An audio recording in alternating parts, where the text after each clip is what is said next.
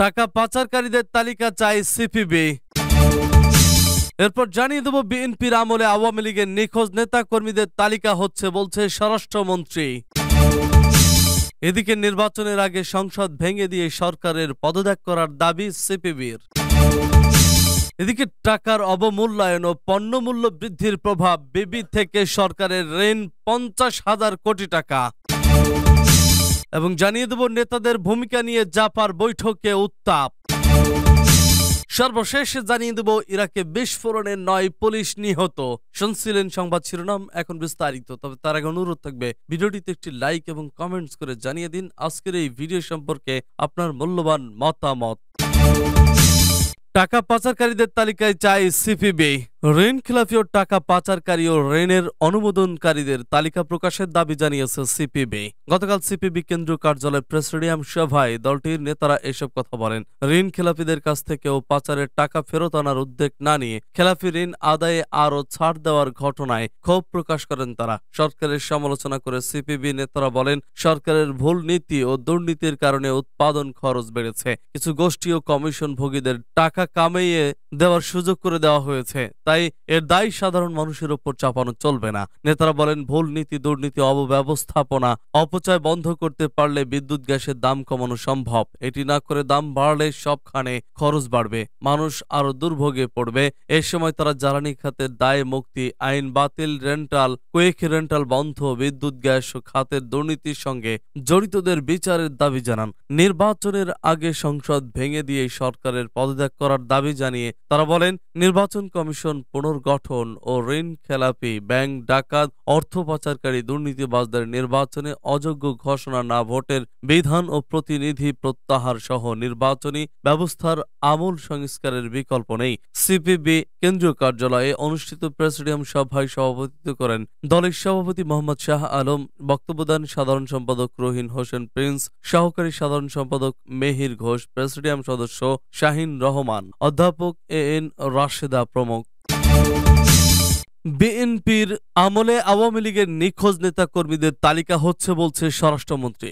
বিএনপির শাসন আমলে আওয়ামী লীগের নিখোঁজ নেতা কর্মীদের তালিকা করা হচ্ছে বলে জানিয়েছেন স্বরাষ্ট্রমন্ত্রী আসাদুজ্জামান খান। তিনি বলেছেন, বিএনপির আমলে নিখোঁজ ব্যক্তিদের তালিকা করা গণ দাবিতে পরিণত হয়েছে।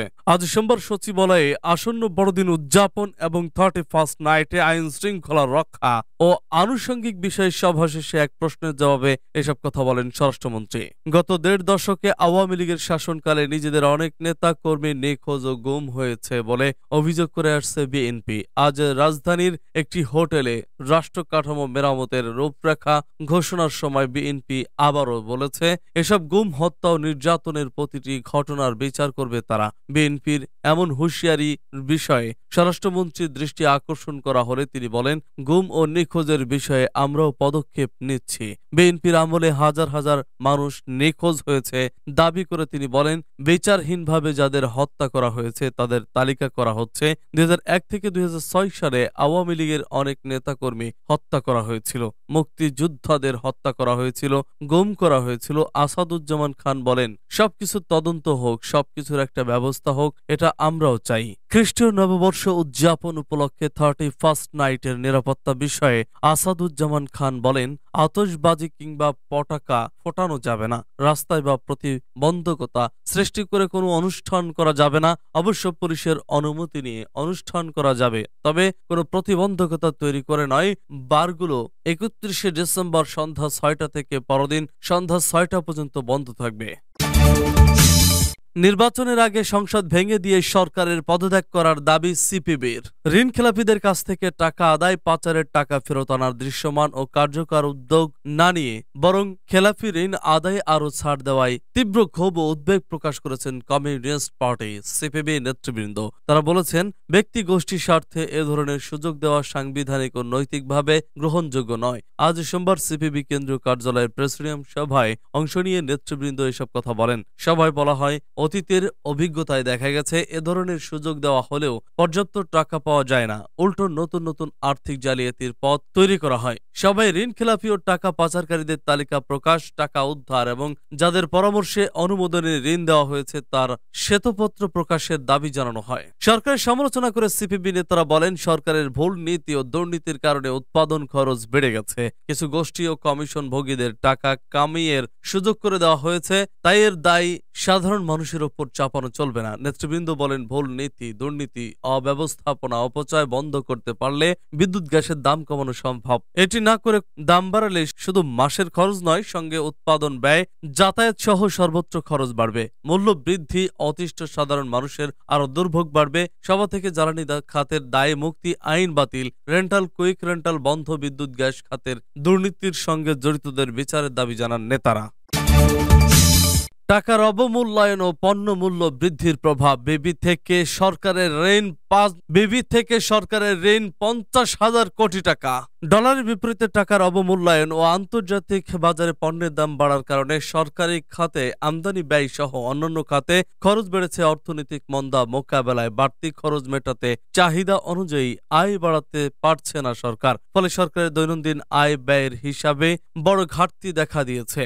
এই ঘাটতি মেটাতে সরকার ব্যাংক থেকে ঋণ নিচ্ছে। অন্যান্য সময় বাণিজ্যিক ব্যাংক সঞ্চয়পত্র বিক্রি করে ঋণ নিত এখন তারল্য সংকটের কারণে বাণিজ্যিক ব্যাংকের পরিবর্তে কেন্দ্রীয় ব্যাংক থেকে ঋণ নিচ্ছে। সঞ্চয়পত্র বিক্রিও কমে গেছে। ফলে চলতি অর্থ বছরের জুলাই থেকে গত সাত ডিসেম্বর পর্যন্ত বাংলাদেশ ব্যাংক থেকে সরকার ঋণ নিয়েছে পঞ্চাশ হাজার কোটি টাকা। অথচ গত অর্থ বছরের একই সময়ে নতুন কোনো ঋণ নেয়নি, বরং আগের ঋণ থেকে ছয় হাজার পাঁচশো কোটি টাকা পরিশোধ করেছিল। কেন্দ্রীয় ব্যাংকের প্রতিবেদন থেকে দেখা যায়, রাশিয়া ইউক্রেন যুদ্ধের কারণে আন্তর্জাতিক বাজারে পণ্যের দাম বৃদ্ধি ও ডলারের বিপরীতে টাকার রেকর্ড অবমূল্যায়নের কারণে বেসরকারি খাতের মতো সরকারি খাতেও আমদানি ব্যয় লাগামহীনভাবে বেড়েছে। এর প্রভাবে দেশের ভেতরেও প্রায় সব ধরনের পণ্য সেবার দাম বেড়েছে। এতে সরকারকে স্বল্প আয়ের মানুষের জন্য নানা ধরনের খাদ্য সহায়তা দিতে হচ্ছে। এ কারণে আমদানিও বাড়াতে হয়েছে। এছাড়া জ্বালানি, তেল, গ্যাস, সার, ওষুধ সহ অন্যান্য সামগ্রীও আমদানি বাড়াতে হয়েছে। এতে সরকারের খরচ বেড়েছে। এদিকে মন্দার কারণে সরকারের আয় বাড়ছে না। চলতি অর্থ বছরের জুলাই থেকে অক্টোবর পর্যন্ত সরকারের আয় বেড়েছে পনেরো শতাংশ। নেতাদের ভূমিকা নিয়ে জাপার বৈঠকে উত্তাপ। দলের বিভিন্ন বিষয়ে নেতাদের ভূমিকা নিয়ে জাতীয় পার্টির বৈঠকে উত্তপ্ত বাক্য বিনিময়ের ঘটনা ঘটেছে। গতকাল সোমবার জাপা চেয়ারম্যানের বনানীর কার্যালয়ে পার্টির কো চেয়ারম্যান প্রেসিডিয়াম সদস্য এবং সংসদ সদস্যদের সমন্বয়ে হওয়া সভায় এই ঘটনা ঘটে। দলীয় সূত্রে জানা যায়, বৈঠক সরকারের সঙ্গে সম্পর্ক রেখে রওশন এরশাদের পক্ষ নেওয়ায় তোপের মুখে পড়েন আনিসুল ইসলাম মাহমুদ। তার ভূমিকা নিয়ে প্রশ্ন তোলেন অনেকেই। জবাবে আনিস বলেন আমি সব সময় জাপার মঙ্গল করি। চাই জি এম কাদের দলের চেয়ারপারসন হিসেবে দায়িত্ব পালন করুক, কিন্তু আমাকে সবাই ভুল বোঝে, আমি জাপার শত্রু নয়, মিত্র। এরপর এক প্রেসিডিয়াম সদস্য বলেন, দল প্রধানের বিরুদ্ধে মামলায় জাপা মহাসচিব জন্য আনিসুল ইসলাম, মাহমুদ, সালমা ইসলাম সহ কাজী ফিরোজ রশিদ একদিনও আদালতের বারান্দায় যাননি। অথচ তারা প্রত্যেকেই আইন পেশায় নিয়োজিত, তারা দলীয় পরিচয় দিয়ে চলেন, সংসদ সদস্য হন, এ বক্তব্যকে কেন্দ্র করে বৈঠকে উত্তপ্ত বাক্য বিনিময় হয়। ইরাকে বিস্ফোরণে নয় পুলিশ নিহত। ইরাকে একটি বিস্ফোরক ডিভাইস বিস্ফোরণের ঘটনায় ফেডারেল পুলিশ বাহিনীর টহলরত অন্তত নয়জন সদস্য নিহত হয়েছেন। রোববার উত্তর ইরাকের হামলার ঘটনায় ঘটেছে বলে জানিয়েছে দেশটির নিরাপত্তা কর্মকর্তারা। সামরিক মুখপাত্র ইয়াহিয়া রসুলের একটি টুইট অনুসারে নিহতের মধ্যে একজন মেজর পদমর্যাদার কর্মকর্তা ছিলেন। কিরকুক প্রদেশের রয়াত জেলার আলী আল সুলতান গ্রামে হামলায় দায়ী তাৎক্ষণিকভাবে কেউ স্বীকার করেনি। রসুল বলেন ইরাকের প্রধানমন্ত্রী মোহাম্মদ শিয়া আল সুদানিকে হামলা সম্পর্কে অবহিত করা হয়েছে। ঘটনার বিষয়ে তদন্ত চলছে। দুই ইরাকি নিরাপত্তা কর্মকর্তা স্বীকার করেছেন যে ডিভাইসটি বোমা ছিল। এবং বিস্ফোরণে নয়জন নিহত হয়েছেন, তবে বিস্ফোরণের পর উগ্রবাদীদের সাথে শুরু হওয়া সংঘর্ষে আরও তিন পুলিশ সদস্য আহত হওয়ার বিষয়ে তারা বিস্তারিত কিছু জানাননি। গণমাধ্যমের সাথে কথা বলার অনুমতি না থাকায় দুই কর্মকর্তা নাম প্রকাশ না করার শর্তে কথা বলছেন। বুধবার বাগদাদের উত্তরে তারমিহা জেলায় নিরাপত্তা সংশ্লিষ্ট অভিযানের সময় বোমা বিস্ফোরণে তিন ইরাকি সেনা নিহত হয়। নিহতদের মধ্যে অনুষাট পদাতিক ব্রিগেডের কমান্ডাররাও ছিলেন। এখনও পর্যন্ত হামলার দায় কেউ স্বীকার করেনি, তবে উগ্র সংগঠন ইসলামিক স্টেট গ্রুপের একটি অংশ এলাকায় সক্রিয় রয়েছে এবং অতীতে তারা ইরানকে, ইরাকে একই ধরনের হামলার দাবি করেছে। দুই হাজার উনিশ সালে মার্কিন সমর্থিত অভিযানে আইএস পরাজিত হয়েছিল এবং সিরিয়ার শেষ ঘাঁটিটি এবং ইরাকে এটির নিয়ন্ত্রিত সমস্ত অঞ্চল হারিয়েছিল। এছাড়া গ্রুপটির গোপন শাখার সদস্যরা সক্রিয় থেকে হামলা চালিয়েছে বা যা বহু ইরাকি এবং সিরিয়ানকে হত্যা করেছে।